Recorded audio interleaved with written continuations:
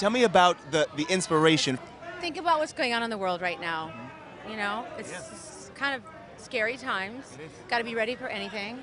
Got to be ready ready to go to bat, go to battle no matter what, even if you're at the Metropolitan Museum of Art, right? Yeah, and We're we're talking about how ridiculous war is and the concept of, of, of that. It's as ridiculous as getting dressed up in a glamorous dress. Yeah. So we combined the two to make a combat Barbie. I- the irony of fashion and war. Ah, Yeah.